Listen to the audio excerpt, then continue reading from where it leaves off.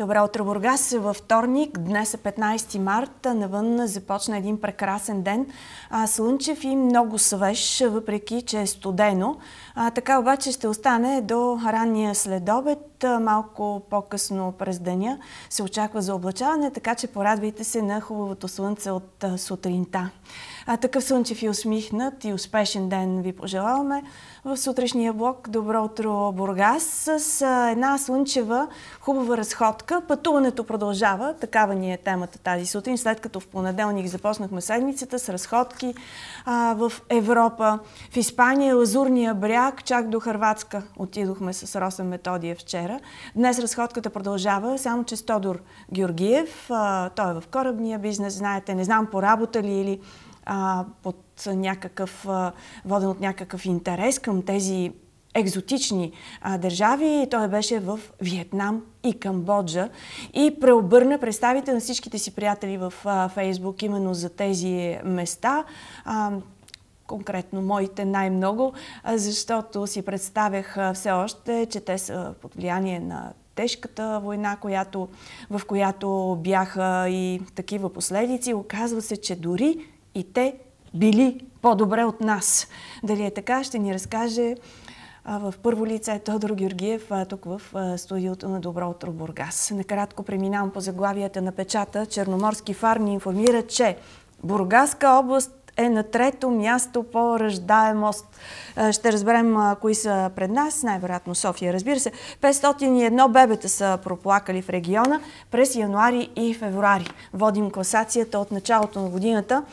А, така усмихнато ви съобщавам новината, но сравняваме се наистина с един изключителен спад на ръждаемостта в цялата страна, драстичен бих казала, миналата година. А, България отбеляза а, толкова малко новородени, какви, какъвто спад не е имало от а, времето на Жан Виденов а, на тези тежки години.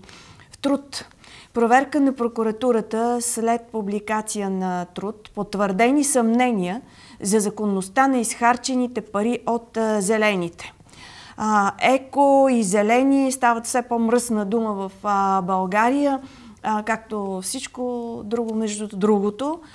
И Явно и те са подвластни на различни лобистки интереси и различни поръчкови протести. А кои са чисти, кои не са, вече се объркахме напълно и на никого не вярваме. И всъщност това е най-страшното, което се случва в България. Стандарт идва дясната ръка на папата. Кардинал Паролин освещава храм, среща се с патриарха, президента и премиера, пълната му програма в а, стандарт. А пък Люлин търси марсианци. След като а, се оказа, че ние сме били космическа сила преди години, а, сега отново така някакви остатъци от а, наши технологични разработки летат към Марс. А, оказва се, че в Люлин издирват марсианци. Ще разберем как. От 7 дни спорт четем, че заради апартамент 130 квадратни метра във Велико Търново роднините на Туню се хванаха за косите. Трифон Иванов, когато изпратихме с огромни почести и много сълзи а, наскоро. Сега роднините му ще се избият заради наследство. А, ще разберем повече от спортния вестник, в който спортът е все по-малко. Това се случва в България. Ще видим какво се случва днес в Бургас и региона от новините.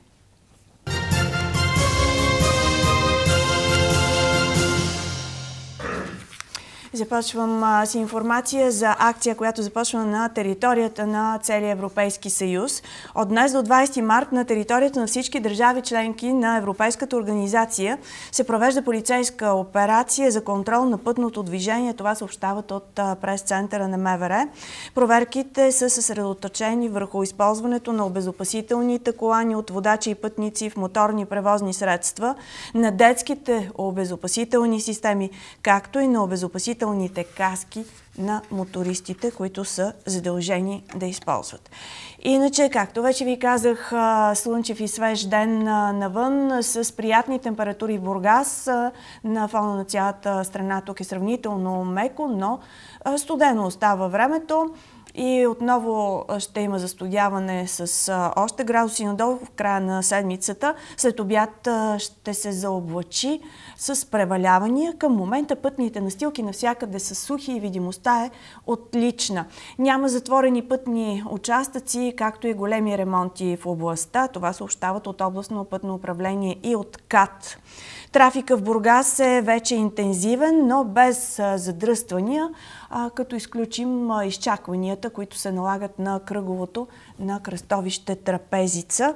По-натоварено е обичайно движението по централните пътни артерии и възловите кръстовища на Бургас. Движението е насочено от големите комплекси към центъра на града. Традиционно колони от автомобили се образуват по булевард Стефан Стамбулов в района на Новата поща и Ембал Бургас, както и на кръстовище Трапезица, което вече споменах. Три са стационарните камери на КАТ, които действат в Бургас. Всъщност в момента контрол осъществява само камерата на входа на Бургас до бензиностанция след края на автомагистралата от София. В пътната отсечка ограничението на скоростта е 90 км в час. До края на март обаче предстои да задействат и камерите в котиите на околовръстния път булевард Тодор Александров, където ограничението е 80 км в час, както и на булевард Захари Стоянов, където ограничението е 50 км в час. Наближава е, всъщност активния туристически сезон, активния плажен сезон, хотелиери и ресторантьори все повече се активизират, като се опитват да се подготвят за огромния наплив от туристи, който се очаква, най-вече руски туристи. Това разбираме и по последни данни от Турция, за съжаление, разбира се, без да се радваме на зачистилите атентати там. Има отлив на резервации от страна на руски туристи и не само. Дали сме готови обаче ние за това? Към момента един акцент от новините на канал 0 към отрезвителите. Хотелиери настояват да се върнат отрезвителите към полицейските райони. За да се случи това обаче, трябва да се промени законовата база, което зависи от гласуване в парламента. Към момента те не отделят внимание на този проблем в курортните комплекси. Това съобщи Георги Николчев, председател на Асоциацията на собствениците в курортен комплекс Слънчев бряг. Вижте още. Преди две години отрезвителните заведения бяха закрити, но браншовите организации недоволстват заради липсата на воля за разрешаването на проблема с подпиналите летовници. Все още не се гласува текст от закона, който да позволи връщането на отрезвителите в България. Трябва да се промени законовата база. Законовата база, както знаете, се е, прави от депутатите. Депутатите много малко време отделят на туризма. Както винаги всички казват, че е приоритетен, но за тях явно не е приоритетен. Единствената индустрия, която работи най-силно в България, това е туризма и ще продължава да бъде така след всичко това, което се случва извън Европа, Турция, Египет, Тунис, Гърция. Предприемачите имат альтернативно предложение – държавата да отдаде на концесия стопанисването на отрезвителите. В Слънчев бряг, според тях, би могло да се направи частен отрезвител, а пияните чужденци да плащат по 100 евро за нощувката там. В цената ще бъде включен превоз за медицинското обслужване и закуска. За целта обаче е необходимо да бъдат направени законови промени, които да се одобрят от МВР и Здравното министерство. Самите общини трябва да вземат мерки точно за тези отрезвители, които говорите. Там реално могат да се заложат в наредба номер едно на общините, където е изписано точно как трябва да бъдат глобявани за всяко нарушение всички е, присъстващи на общините. Трябва да се направят тези глоби, които ако са наистина малко по-високи, могат да се събират реално от е, полицията, която е по нашето черноморско крайбрежие. Очаква се през този летен сезон да има засилен поток от туристи. Една от причините е отлива от Турция и Гърция. Като че ли обаче все още у нас нямаме готовност за очакваната вълна.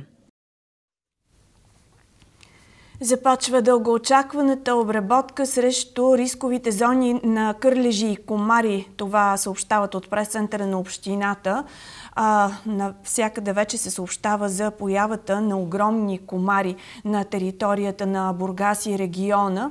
А, специалисти а, всъщност успокояват, че тези комари не са опасни и не са унези, които разпространяват а, смъртоносния вирус Зика. Така или иначе, общината започва вече обработката на рисковите зони от днес.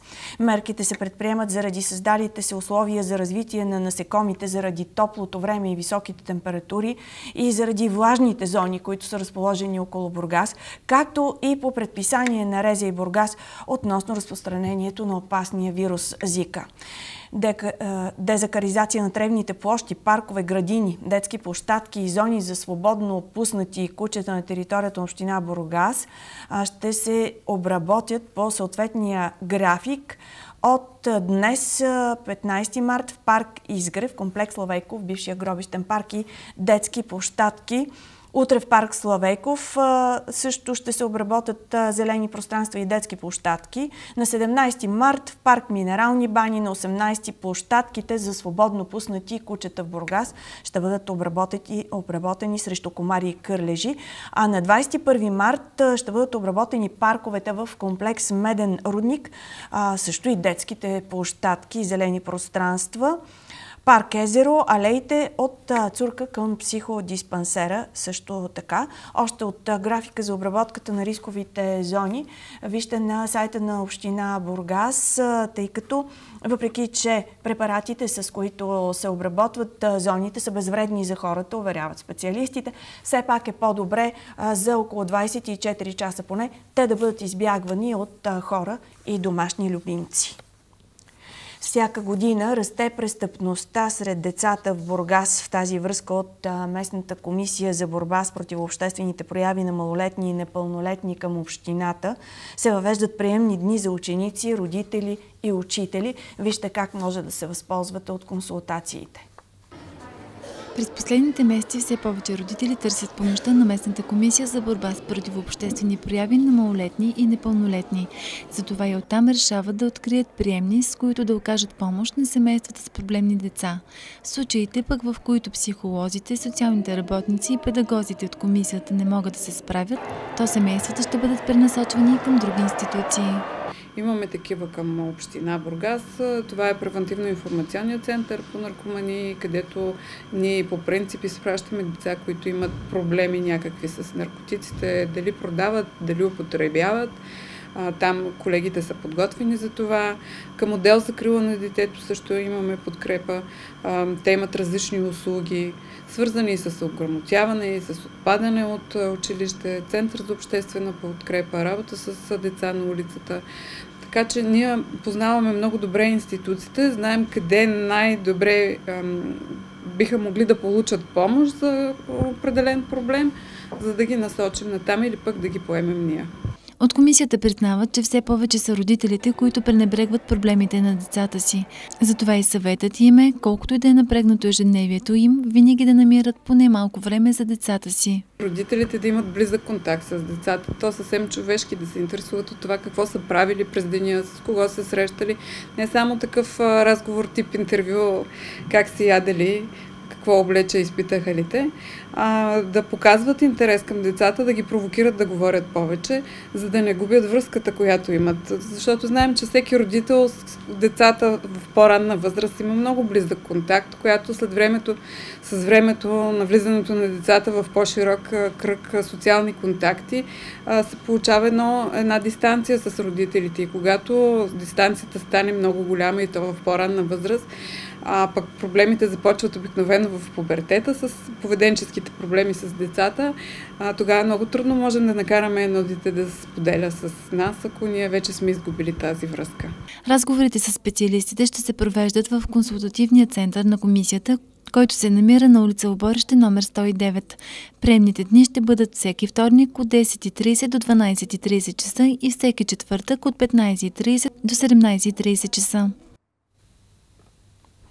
От дневния център за работа с деца на улицата Бургас съобщават, че не могат да се справят с детската просия. Единственият начин да бъде спряна детската просия по улиците е родителите на децата да се наказват. Разбира се, тази дейност с децата, които просят, не е вменена единствено на дневния център за работа с деца на улицата. Има много отговорни институции, които въпреки всичко не могат да се справят с проблема.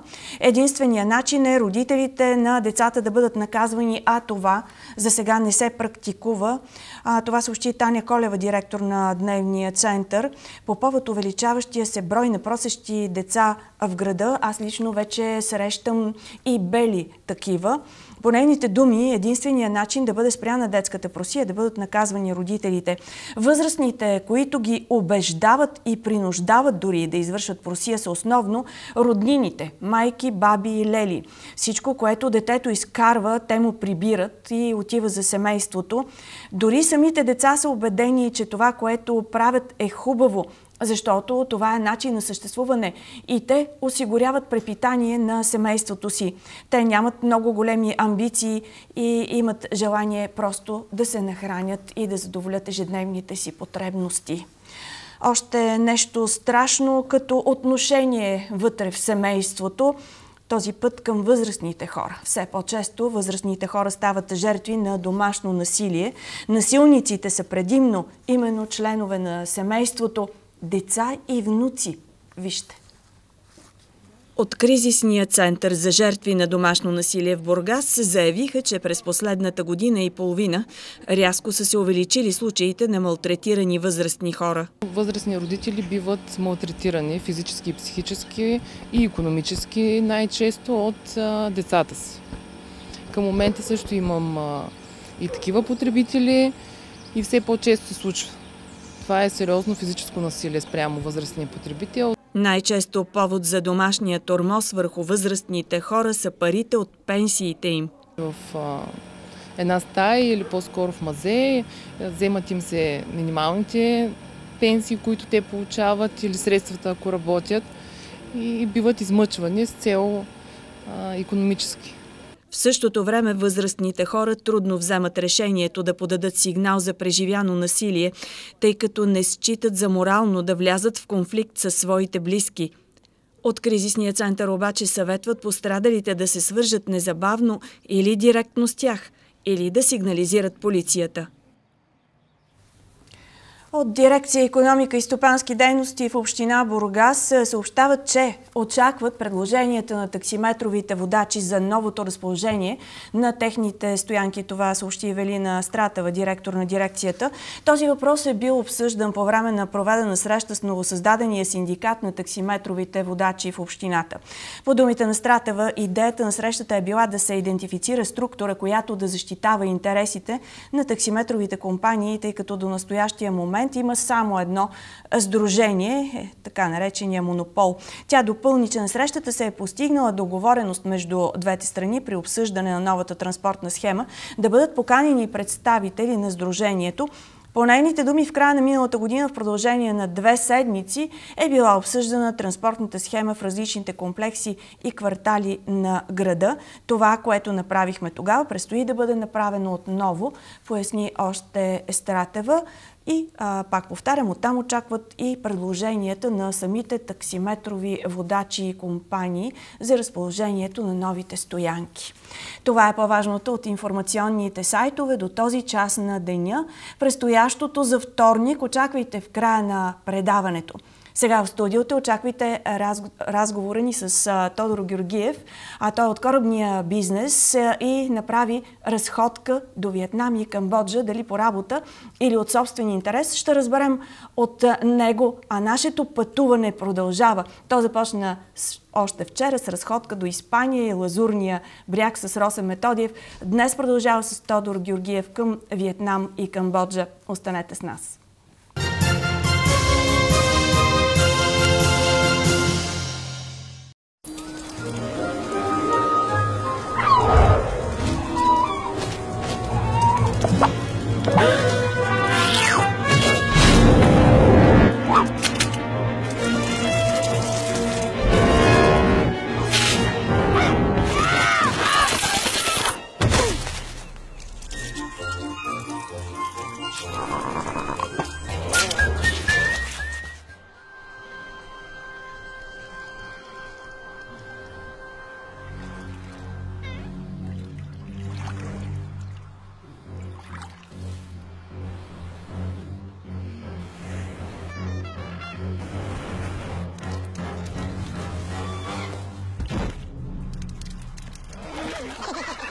smart at traveling groups.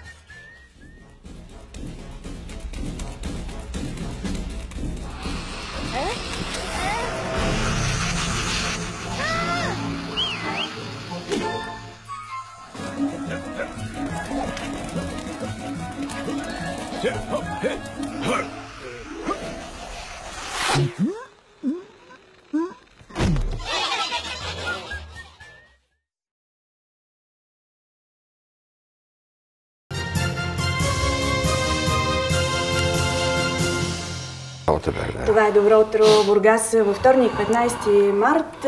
Хубав старт на деня, слънчево и свежо време навън. А, хубав ще ни бъде и старта с пътуването, което продължава, както вече а, разбрахте. В понеделник се разходихме до Испания, Лазурния бряг а, и Харватска. А, само, че те са така по-обичайни директории за европеец. Сега Тодор Георгиев, който ни е гост тази сутрин, здравей, добре дошъл в студиото, ще ни разходи в едни по-необичайни посоки. А, нямаш нужда от представяне, но все пак да припомня, ти си в корабния бизнес, Корабния занимаваш бизнес. се с економика, И заради него бях в, с политика, с всичко. да. Така ли, с, а, по бизнес ли беше? По Това е бизнес първия бях, ми да. въпрос. По работа беше, че какъв бизнес има в Виетнам и Камбоджа? Нарочно започвам с такъв леко, глупав и може би наивен въпрос. Не, бе, то, значи този въпрос, който задаваш, го задават 90 на 100 от европейците. За това го задавам. Докато не отидат да ведат там. Между другото се оказа, че е дестинация, която е любима на Западна Европа и на Америка. Защото буквално бъка от хора в големите градове, в туристическите центрове. Ще стигне до туристическите центрове. Економиката им изсеква. От тежко машиностроение през корабостроение. А, Виетнам е най-големия износител на ориз в света, се оказа. Аз го знаех, но Манкок, а, Тайланд доскоро ги биеше в износа на ориз. И всичко, което може да бъде направено пари, те го правят. Лека промишленост, тежка промишленост, корабостроение, корабоплаване, а, селско стопанство, всичко това го правят. Да, веднага да вметна, а, понеже се си спомням, ти през цялото време държеше в час, както Да. се казва, своите приятели в а, Фейсбук с това пътуване. А, вметна за пристанище, което а, съдържало едва ли не корабите, колкото всички наши а, може да всички. посрещне. Два колкото всички половина- наши пристанища. Два пъти и половина повече от нашето, да. А, говоря за Дананг, поне Сайгон е по-голямо пристанище. Дананг е града, в който до 1973 година беше базата на морската пехота на военноморския флот на Съединените щати, когато беше войната. И когато силите на Северо-Вьетнамската армия го превземаше, града беше буквално унищожен. Нямаше град. Имаше само дупки навсякъде. Нямаше пристанище, нищо нямаше. Джунглата беше опожарена и унищожена, която е около града. В момента Дананг е 3 милионен град, строен по американски образец, с хубави светли сгради, огромни булеварди, задръстени от движение. Тук можем да покажем да. а, снимки. Ти Да. си направил едни много интересни разходки, дори с музика са, така че можем и да разказваме по тях, защото а, те могат да нагледат всичко това, Да, което разказваш. В момента говорим за Виетнам, нали? За Виетнам. Така, аз наистина видях едни улици, хубави, асфалтирани, С модерни автомобили нови. с модерни автомобили. Да, между другото, при тях се оказа, че няма пазар на автомобили втора ръка. Купува се автомобил Въобще от няма. магазина, който е на много добри цени. Ма те трябва да дойдат да обменят опит с България. Как можете? Това много са изостанали. Еми, ще ги научим, като да. още два-три пъти като отиде, ще ги науча. Ще Да. ги открехна за някои предимства на европейската цивилизация. На колите втора, трета и не знам да, коя да, ръка. да, да, да. Какво виждаме в момента? А, това е едно от чудесата на света, седемте природни чудеса на света. Това съм го по виждала по филмите. Да, това е залива Халонг. Естествени природни образования. Невероятно място. С пещери. И има 500 джонки, които на ден посрещат средно 10 000 туриста. Те са само туристически. Да, имах няколко дена свободни. Халонг е близо до... На, 100, на 120 км от столицата, от Ханой. И защото се мотах там по работа, беше събота и неделя. и се Тук обърнах. виждаме сватба. Да, а, това ме направи впечатление. Страшно много сватби, страшно красиви сватби а, и нещо, което е забравено в България, да се целуват младежите по улиците. Страшно впечатление направи. Ако ти направи впечатление, младоженци се целуваха на пешеходната пътека, автомобилите спряха на секундата. Много приятно така, всички бяха, не знам, едно много позитивно, много особено чувство Радват им те. се. Радват се, да. Нещо, което не можеш да го видиш от навръщани физиономии, вече не само в България, в цяла Европа. Е така. Нали, няма тази спонтанност, не иска за тази спонтанност на чувствата е изчезнала при нас. Не знам защо. Но е тъжно. После ще сравняваме а, Да. хората. Сега да видим как изглеждат нещата. А това, което беше преди малко е коледното дръвче. Прасков, цъфнало прасково дръвче и коледното дръвче е аналога на коледно дръвче в, нашите, е, в нашия свят. Тук виждаме едни неща, които те ядат. А, не, това не се яде. Това са малки костенурки и златни рибки, които си ги купуваш в общи линии, струват около стотинки И са декоративни. и се хвърлят за щастие в е, местното езеро. Ех, че хубаво. Да, продават обикновено около храмовите на Буда или на Шива, зависи каква религия Това е тяхната религия основна. А, няма, те имат три религи- религии. Е, Това е будизъм, хиндуизъм, Шива, Брахма и Вишну, трети бога, и конфуцианство, което е от Китай. Три религии, мирно съвместно съществуване, няма партия на етническа основа, по тази причина няма къвги между религиите. После ще попитам дали религията е основна причина. Продължаваме разходката с тези великолепни снимки. Тези рибки да не би ти да ги пусна. Това е императорския, оригиналният императорски стол в е, старата столица Хюи, която е е, императорският дворец, огромен е. Империята съществувала до 18 век. После са дошли французите, ще ги шемеросали. И имало 100 годишно цивилизоване. След това са още американците са ги цивилизовали. Пак не са успели и такива нецивилизовани, нецивилизовани са много щастливи. Те са много щастливи, ама пак са имали късмет кой ги е цивилизовал. Пак нас, като си помислим кой ни е цивилизовал, може да си отговорим защо сме такива, може би. Да, Нали? Късмет са имали все пак. има и друго. Те са много стари култури. Да, като казахме Конфуций, какво да говорим повече? Да, Да. Там спора е, чия империя е най-стара. Например, е, кхмерите, които са основното население на Камбоджа, имам чувство, че си отговарят с еквивалент на нашите македонци. Нали, те винаги плачат каква велика държава са били и как сега не са. И кой колко им е откраднал като територия. И как всички ма- велики хора са мак- македонци. Но това не ги прави конфликтни спрямо останалите. За разлика те от просто си македонци. разказват историята, да, това е разликата. Виждаме е, тук едни подстригани деца, видяхме с особени прически. Това са... Монаси ли млад- са? Да, това са кадети за монаси, обучаващи се за монаси. Това обичайно ли е там? Да, така е. Обичайно е и е абсолютно пожелание. Живота на монаха си е живот на монах в каноничния смисъл на думата. Тоест ти ставаш доброволно монах и приемаш доброволно всички излишества. Ако не искаш да ги приемеш, просто не ставаш монах. Много е простичко, разбираш ли? Защото монашеството не носи никакви привилегии. Носи единствено задължение по поддръжка на храма, прехраната на храма, това, което е било вероятно нашите манастири. Затова говоря за каноничен смисъл на вярата. И много ли млади хора видяхме тези усмихнати а, момчета, деца? Много ли млади хора а, правят а, това оттегляне от излишествата, както ги наречете? Те по принцип не са много по излишествата. Дори, е, както ми сподели собственика на компанията, който е, чието състояние се измерва вече в милиарди долари, имахме една вечеря, той казва, нашата култура не позволява да парадира с парите, които имаш. Нали, по тази причина той, когато се разхожда, ходи пеша. Мерцедес и служебния се прибира с него извън града и посреща такива като мене.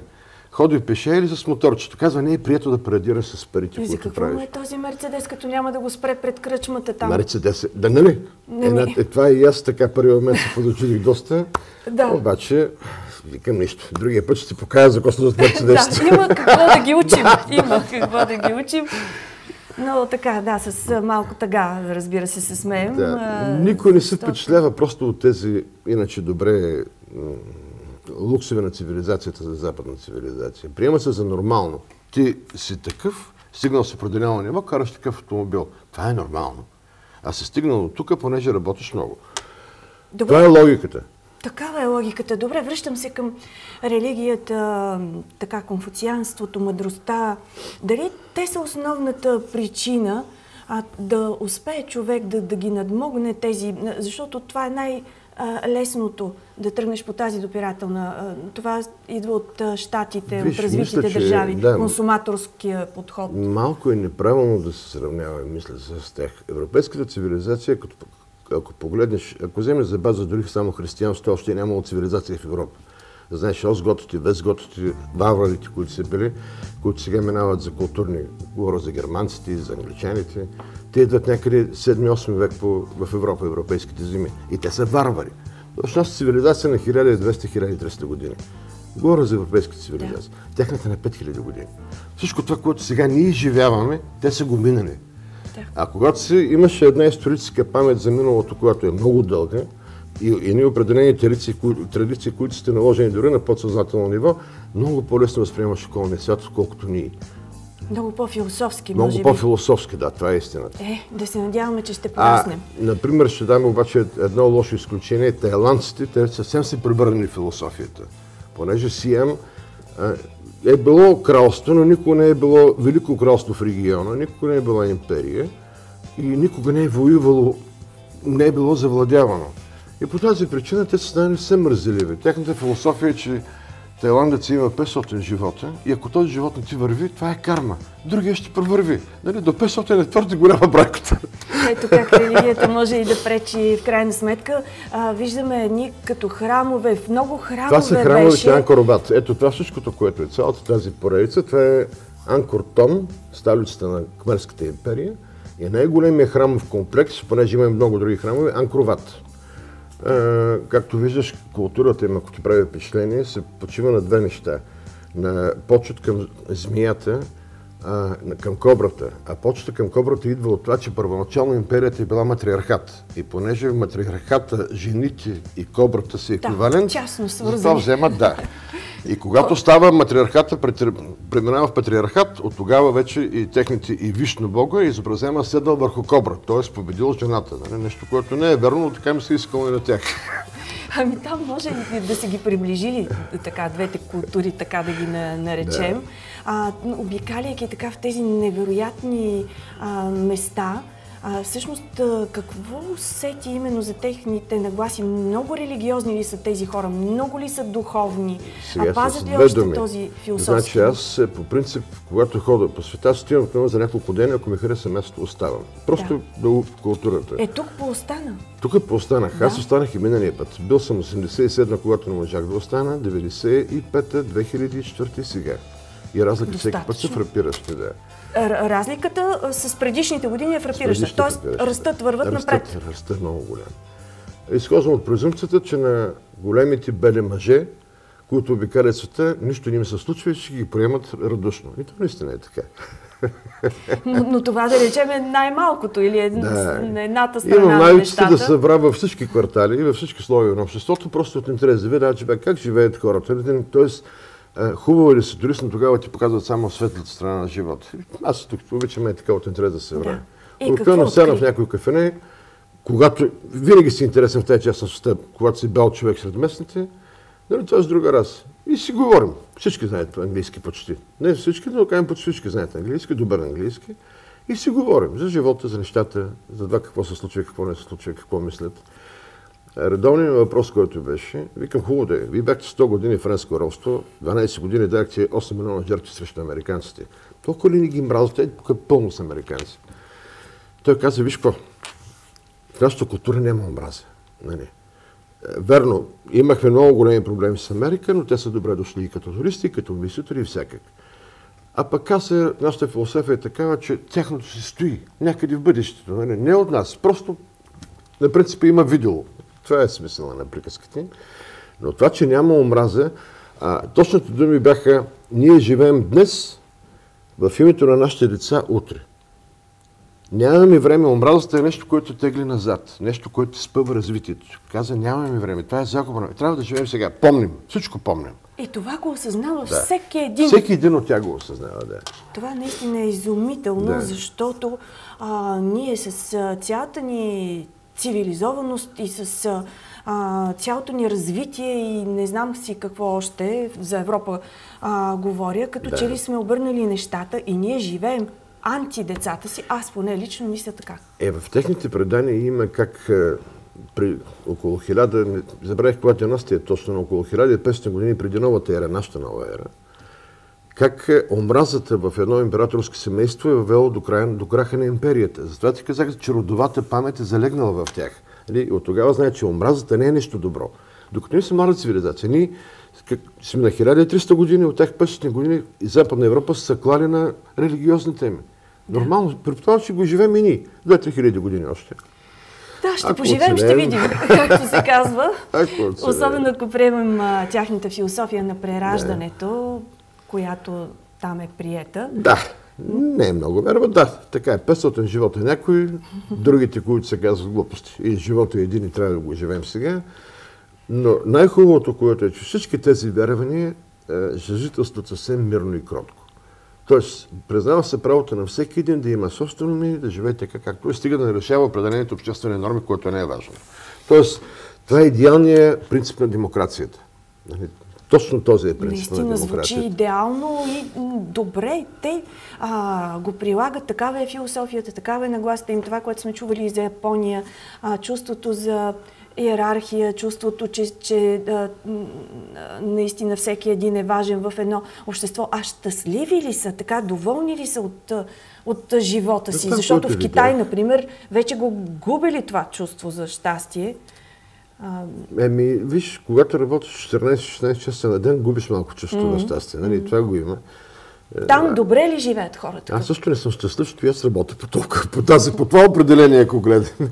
Ема, ти си щастлив с твоята хората работа. живеят сравнително добре. А, Ако говорим за в а, абсолютни цифри, средната им заплата, работна заплата е 600 долара. Това какво прави около 1000 лева. И е, цените, Да, сравнение с... цените на хранителните стоки са 10 пъти по-низки от нашите, а на останалите 10 стоки и услуги да, са 5 пъти по-ефтини. Една чисто нова, аз затова ти казах, че те имат пазар. Отговори ми на въпроса. Да. Дали са щастливи? Да, няма за пазар. Те имат и друго разбиране. Ние имаме разбиране за щастие един, едно огромно жилище. Докато за тях щастие, ако къщата ти, те обичат къщи, не толкова. Къщата ти има лице на, е, на улицата. Нали? И виждаш много тесни лица на къщи, една на друга долюпени. Зад тях нещастните имат едни огромни къщи, но те нямат лице на главната улица. Нали? Различни разбирания има за щастие. Така че- Връзката, с- връзката между хората явно е, е силна и се нуждаят от, от а, Не това. само това. Въпрос на някакви вярвания обясниха, именно така не ги хванах. Толкова много богове умешаха в това обяснение и фън, принципа на фаншуй, че просто да ти кажа изключих точно каква е причината. Наистина много, много неща, които ние се опитваме да докоснем само така от а, далече. До кухнята успя ли да се докоснеш? Има ли екзотична храна? Сега е сега. модерно да се прави Да. такъв туризъм, нали? Да, Да. Гурме или кулинарен или не знам. Всеки регион, Какво ядат? северен, централен. Ами, първият въпрос беше да не ми попита с кучешко, нали, в рамките на шегата. Ами, знам ли? Той вика, не, ако искаш кучешко, което ядете само вие европейците, ще заведа на ресторант. Какво се оказа? Легендите за кучешко, те са 53 племена в Китай, в Виетнам. Общо, нали, Виетнам са 53 различни племена, които са една и съща народност. А, само две от тях, които живели в планините на Северен Виетнам и били цивилизовани сравнително късно, средата на 70-те години, цивилизовани, разбира в европейска социална цивилизация, Да. а, за тях кучешкото месо е било деликатес. Но една специална порода кучета, които сега се отглеждат във ферма. В момента там имаме една ферма за кучешко месо, която отглежда тази порода, и 10 ферми за змии, които също са за храна.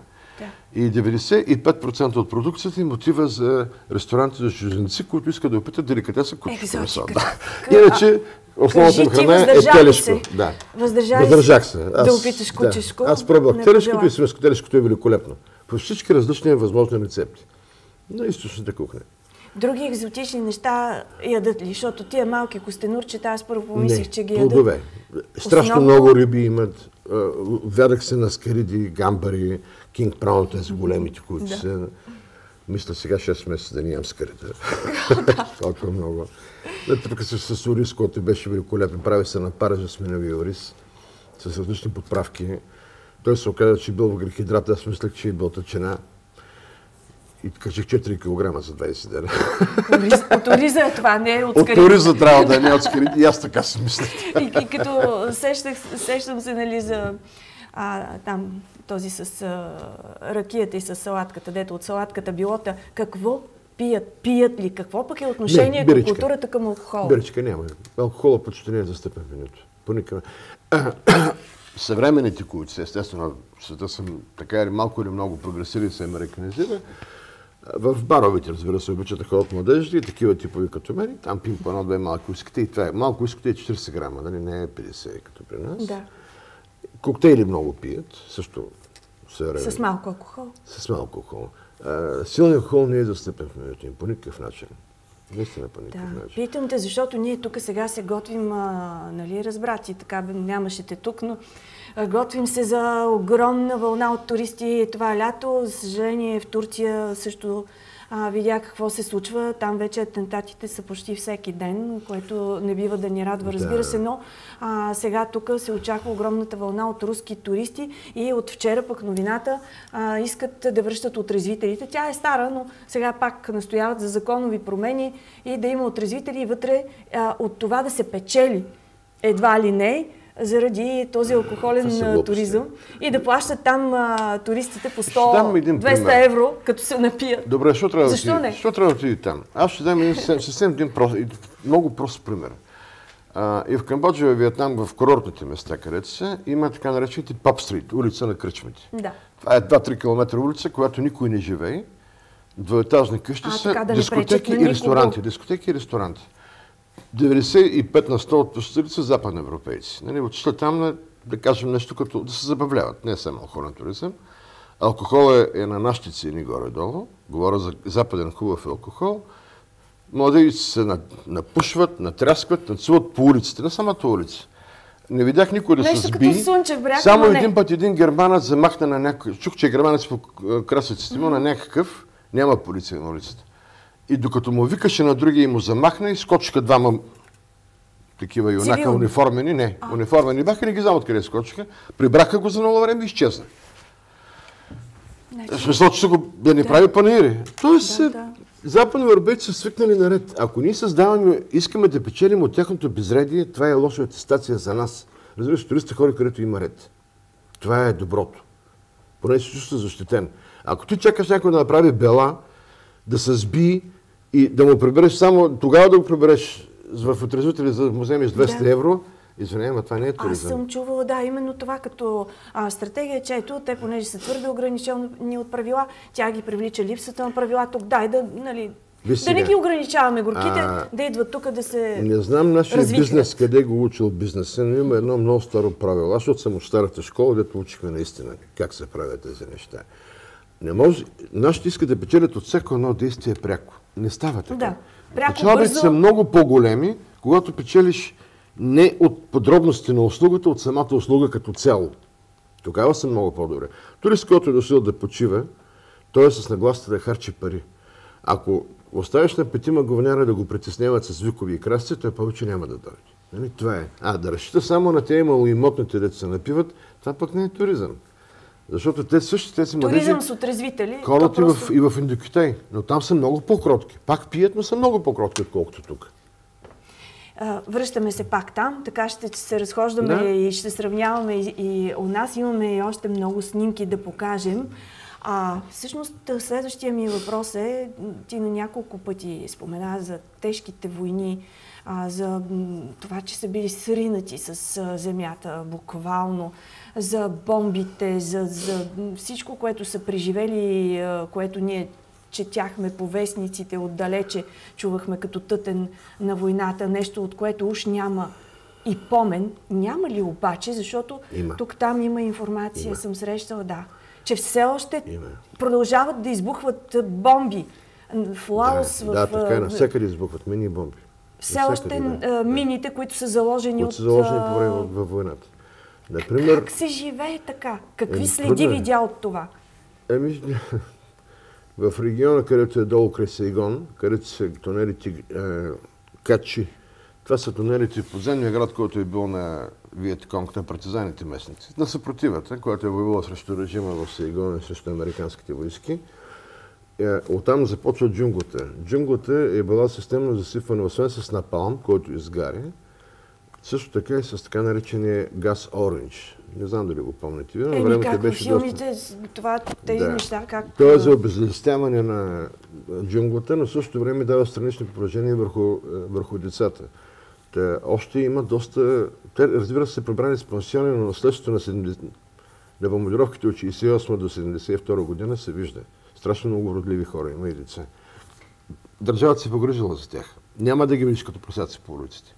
Нали, може да са няколко милиона са отделени в е, прилични санаториуми и там доживяват, ако е останало да живеят. Но значи е... не се проси по улиците. Това не, е няма не. Дори а, така са качи хора. В Камбоджа се проси по улиците деца. Не е просие, то не, не проси, то ти продава картички и такива неща. Но да. навсякъде има табели, не купувайте от децата. Така се учат да валят лесни пари и не ходят на училище. Това е предупреждение към туристите на английски няколко език.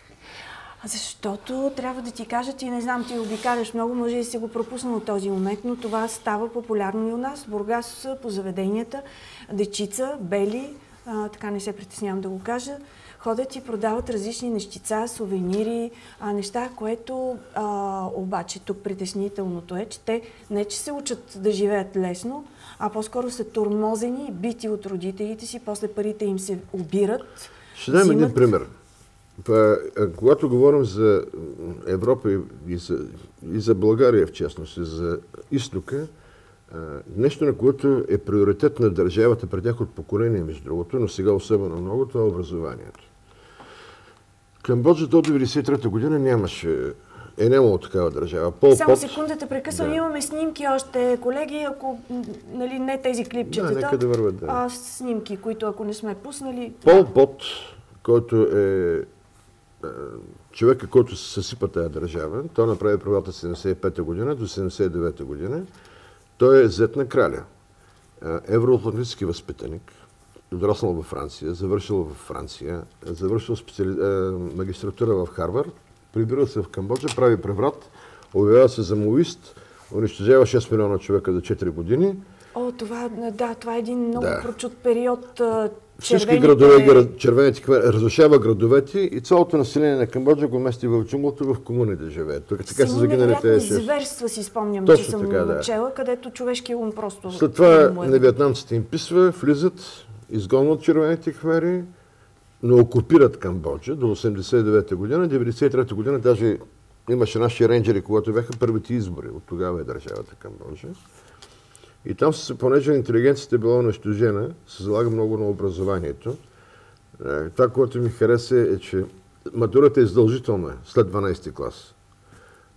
матурите обаче се правят от, е, те казват, комисия по антикорупцията. Те правят матурите. Каква Учи... е връзката? Не е ясно. Връзката е тази, че искат честни резултати на матурата, защото класирали се в пет групи. Първа група А получават финансиране от държавата за следване в чужбина 100% държавна помощ. Група Б на 50%, другите учат местен университет и така нататък. Нали? Това е смисъл. Стана ясна връзката. Да, да тук да в България няма... веднага ще се реши въпроса, именно ще се плати на когото трябва. Естествено, за това говорим, след като има държавна да. издръжка. Да, то явно навсякъде да, така да. Ще, ще се изкушат хората, но а, държавата а, пресича тези процеси по подходящия начин. Ето, матури, провеждани от да, антикорупционна да, комисия. Да, да. Просто това е измислено. Виж, Всичко е измислено. В далечния изток, Китай, Индокитай, е, тези култури в общи линии са честни. Лъжата е измислена от тях. Но аз, защото работя много с тази чест на света, винаги съм, като ми каже хе-хе, следващия момент, че ме излъжи. А, то, да. Какво си пчела? Той се подсказва. Лъжат обикновено, когато не иска да дадат отговор на някакъв въпрос. Да се измъкнат. Има въпроси, когато, които не се задават. Да. Съобразени с тяхната култура, да се измъкне. Тогава почват да лъжи. Иначе, когато говориш нормално с него, не лъжат. Нали? Тоест, в един нормален разговор. В бизнеса също не лъжат, в рамките на допустимото лъжат, разбира се. Не прекомерно. Тоест нямат още нашите лоши практики. Да. така че в общи линии, може би, това се развиват и нормално и се развиват добре. Всичко това видяхме от а, снимките, от а, клипчетата. Не ти ли става все пак малко тъжно? Ти такива равносметки правиш да и кажа, на... Аз от че дори време, те са по-добре да, от нас. От край време още жена ми знае, че винаги съм се канал, като се пенсионирам, от 30 години го разправям. че ще взема, като се пенсионирам, ще живеем в Сайгон. Не, не просто този град, не знам защо, но най-много ми допада на всички градове. Е, Зра... какво има? Разкажи за него. Зелен ли е? Не, не е? че е много зелен, е много зелен. Че има много хора, много хора. Просто всичките хора са усмихнати, атмосферата е хубава, е, града никога не спи. града има прекалено много живот в този град. Това е... Живота бълва от всякъде. От реката, от морето, от хората, от дърветата. Има река, има море, Има всичко, да. Ето града е кръстен името на река Сайгон. Но там е... има култура, има, и култура. вероятно и туризъм, хотели хубави, А, всичко. виж сега, когато говорим за хотелите, а, ние в България нямаме петзвездни хотели, не отговарят на категорията, Да. на трезвестната категория Това на си го Виетнам. знаем, да. Нали?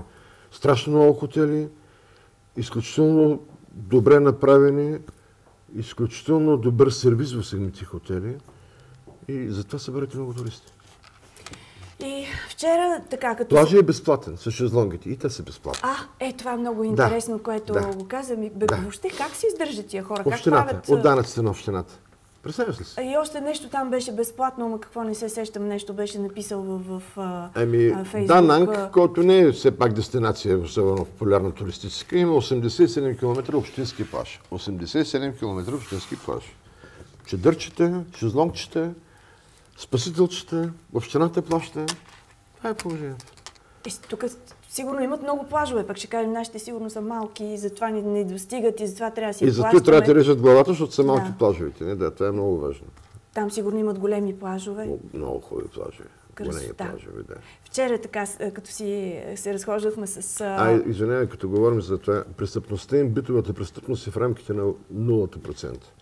Имат организирана престъпност, докато дори няма организирана престъпност, която ти не усещаш. Нали? Тя се занимава с едрите работи. Нали? Там контркод занимава ор- ор- организирана престъпност.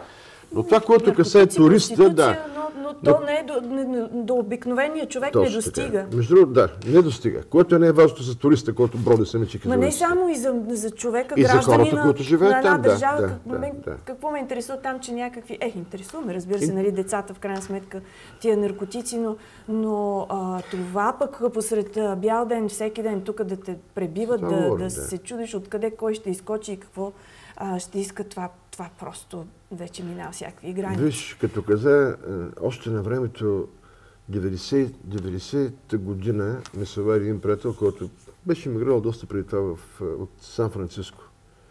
И казва, какво става с бъ- българите така веднага се лечат. Обир на пералния, пералния, нали знаеш, че в Америка има перални автомати. Някой почнал да ограбва системно 25 центовите монети от спиралните. Когато ги хване, се окаяли българи. Викам, Господи, момчета, Америка, хората ограбват банки, не перални с по 25 цента. Тези хора Оттам е кокошкарството явно душите ни, което е заложено. Нямам идея как се не получава, но дали да пребиеш човек за 50 лева, това извинявай, ма това е... Не, за два лева убита. За два лева Убита жена неща, и да. той пак на, на свобода и, и пак убие една Да. възрастна. Ето. Почти. А организираната престъпност ограбва банки. Нали? Това е друго. Е, у нас това е, е, това е събитие.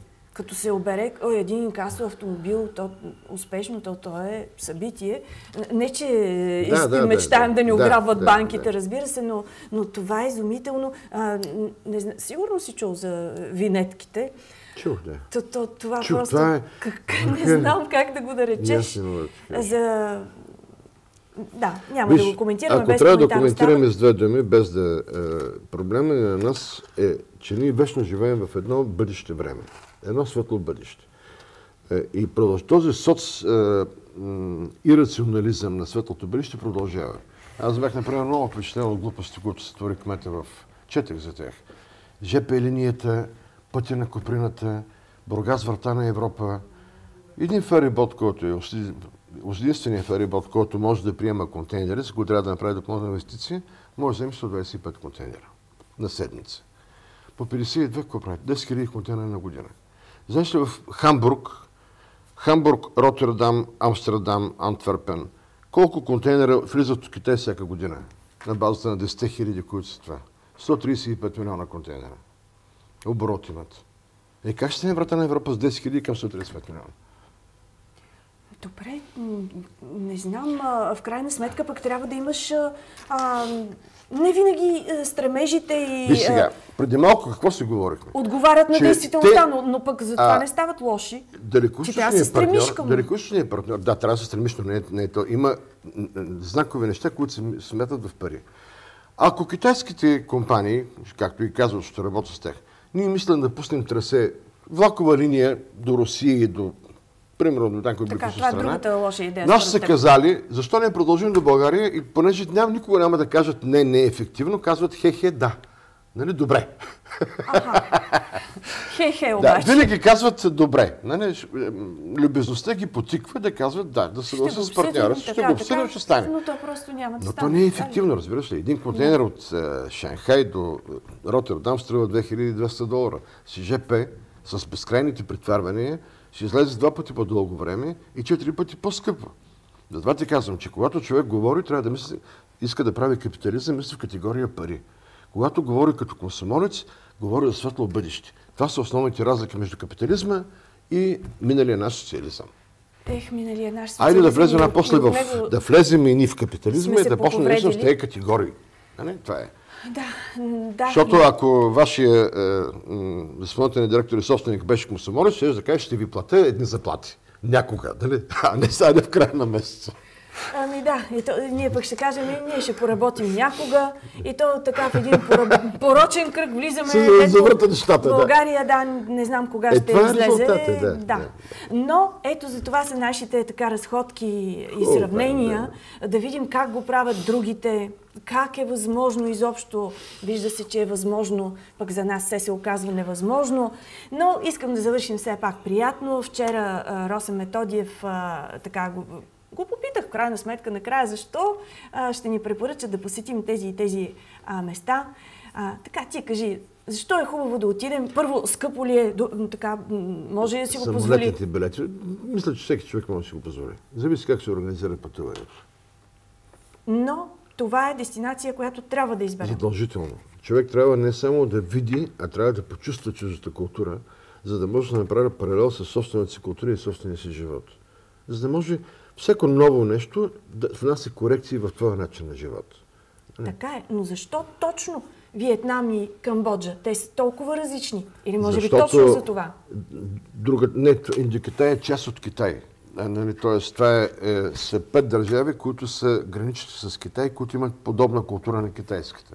Защото Китай е прекалено индустриализиран вече. Да. нали, за да бъде пример. И там хората вече не са в. Шанхай, ти отиваш в някой американски съвременен град. Това е разликата. Нали? Тоест, не, те, не са щастливи по техното разбиране за щастие. Те просто живеят вече един друг живот. Именно. Нали? Извадени са от Извадени са от собствената си своята култура, да, така е, да. Това е. Да, а там все още, Все още е запазена да видим автентичността на културата, така е, да. Именно това различното. Това е различното, Това, да. което може да ни зареди, това, което може... Например, като говорим, е, Тайланд също е прекалено изкривен. Тайланд, е, европеец се ходи Банкок, Паттайя, на още два-три места, които са центровете на туризма, на които не са, не са Тайланд. Там всичко е направено така, че да се хареса на туриста, Да. а не туриста да го хареса него. Това е разлика. Така е, сещам се така за, за едни изкушения, които привличат богатия европейски мъж и така нататък, въобще м, световен. Това е резултат от тяхната Но- карма. Е, Семейство от село, понеже в е, Банкок може да е светълно, целият е, Тайланд не е особено добре економически, е, казва така, моето дъщеря има 500 живот. Този живот ще е пратил да стане проститутка. Нали? Пък другия ще наваксва. Да, да изкара някой лев, пък после ще видим. А между другото, е, тайландските е, жени са щастливи, понеже не готвят, ако не знаеш. На мъжете И кой си. готви? Еми не, а, там се, тази култура се яде един път на ден. Разбирай, като се, от момента в който се събудиш до момента в който заспиш. На всеки метър има различни работи. Тоест готвят тези всички павилончета, сергийки и прочее. Да. И затова не се готви. Повечето семейства няма дори печки в къщите си. Говоря говорски печки. Някои доста нямат и гардероби. В блоковете, които живеят, виждаш закачено вънка на терасата на закачалки дрехите им. Това е да се пести място. Много са малки жилищата. Ех, че 35 интересно. квадратни метра минава при тях за голямо жилище. Да. Аз един път си купувах е, една купичка, разни работи, готвени. По-точно ни телешки в на пръчка, страхотни. Един бабушкер на една- количка ми ги продава, като дигнах погледа, видях една по-млада тайландка и един с европейска мутра. Казвам, испанец или италянец, той вика, италянец съм се дръпна да се поговори. Пихме едно кафе близко до кафене. Бил е, главен инженер на някаква голяма компания, преди 22 години учил в Тайланд и каза много И ми хареса и никога не се върнах повече, да. Какво да... са там. И викам, хубаво, стига ли ти, бе? Той вика, по европейските критерии не. Но начинът ми на живота прави щастлив. Толкова. Човек е просто открил себе си. Е, какво сега да очакваме един ден ти да не се върнеш от Сейгон? Дай Боже. Когато ти омръзне всичко това. Дай Боже, да. да. Дай Добре, Боже. благодаря ти за тази за разходка. А, не остана много време да поговорим за нашите си тук проблеми, но има време, ако се позадържиш малко и Както за това. Както казват комшите, иншала. Да, и нашите време. политици всеки ден ни изненадват с, с нещо, така че има Нека време. Нека да посъберат малко простоти още, тогава да, на да, да съберат точки. Благодаря на Тодор Георгиев, който ни продължи пътуването, започна в началото на седмицата. А, видяхме, а, видяхме Камбоджа, видяхме Виетнам, едни места, за които всъщност си мислех аз по друг начин. А сега, може би, реших да ги посетя. Благодаря ти за участието.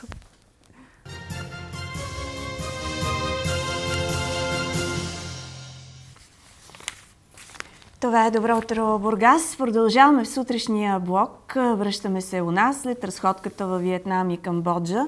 Черноморски фар във вторник. Бургаска област на трето място по ръждаемост. Четем от първа, втора и трета страница. 501 бебета са проплакали в региона през януари и февруари. Това сочи справка в информационната система на ражданията на Здравното министерство. Данните показват, че ръждаемостта в региона спада и пеленачетата са с 48 по-малко спрямо същия период. Въпреки това обаче, Бургаска област е на трето място в страната по ръждаемост. Тенденцията за спад стойностите на важния демографски показател отчетена в цялата страна нещо, с което започнах и аз тази сутрин. Драстично се намалели новородените в цялата страна. 653 деца, което наистина е много.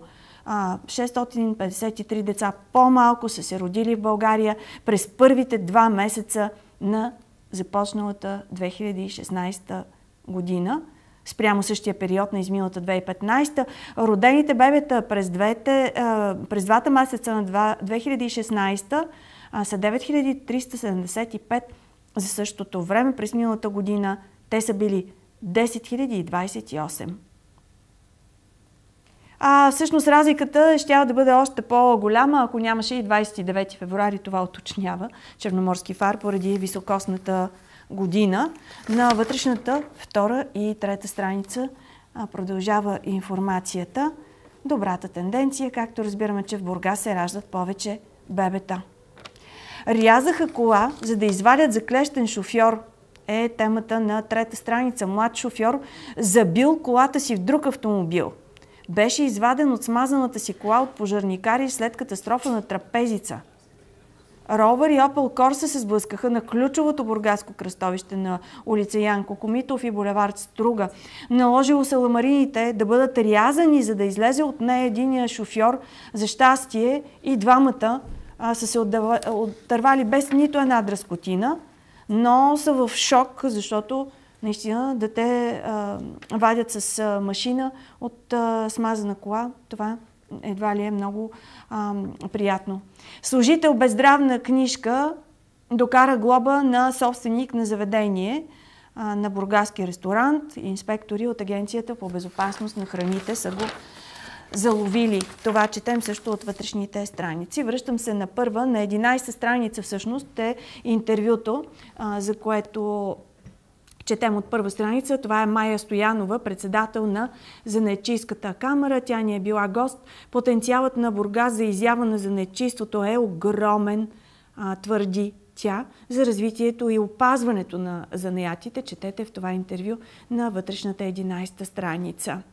Рибен фест удължава туристическото лято. На страница 13 четем за новата идея за Рибен фестивал. Много хубава според мен. Стига да се развие добре.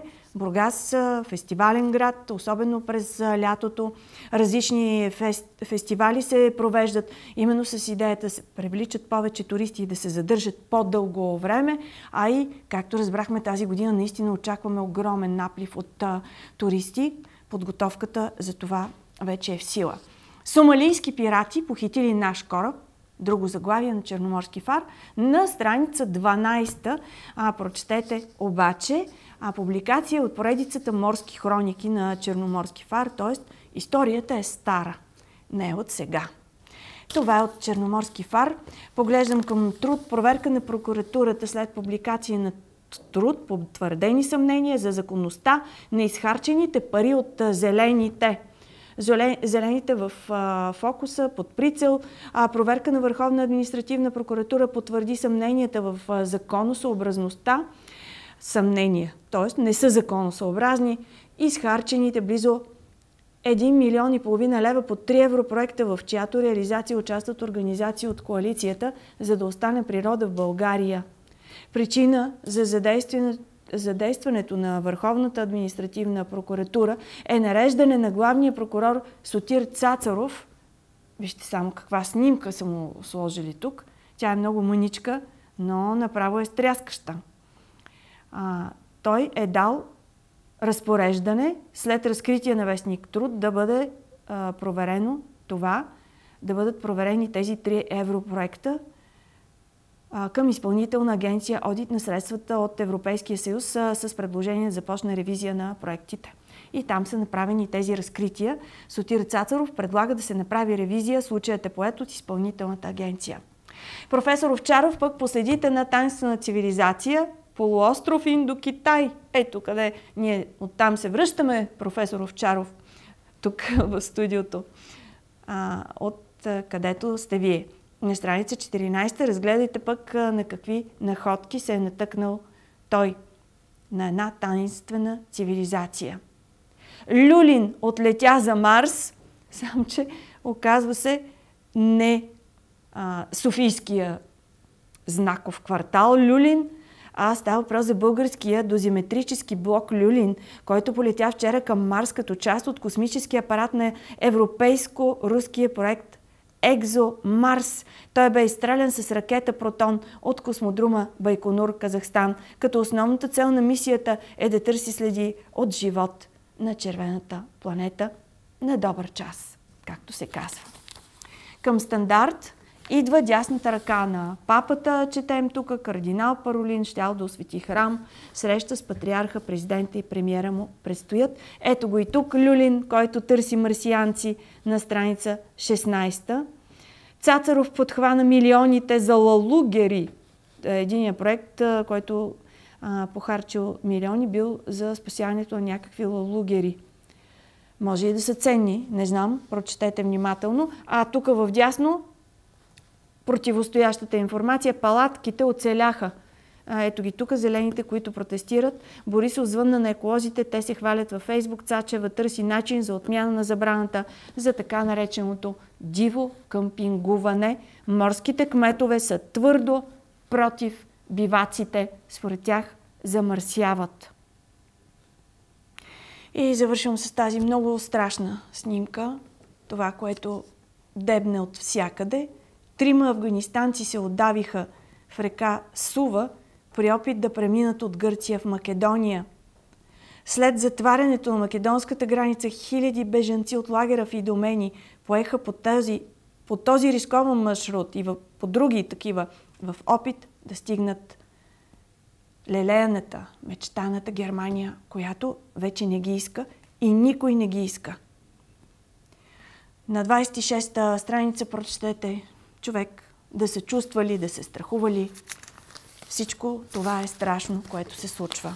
И накрая 7 дни спорт с скандала около Трифон Иванов заради апартамент от 130 квадратни метра във Велико Търново. Роднините се хванаха за косите, за гушите, за каквото намерят. Галя, дъщерята на Трифон, напада последната му жена, Валя. На страница 2 прочетете още от скандала. А на страниците на 7 дни спорт ще намерите все пак и спортни теми, не само скандали. Това е от прегледа на печата. Ще ви запозная само и с предстоящото за Бургас във вторник, 15 март.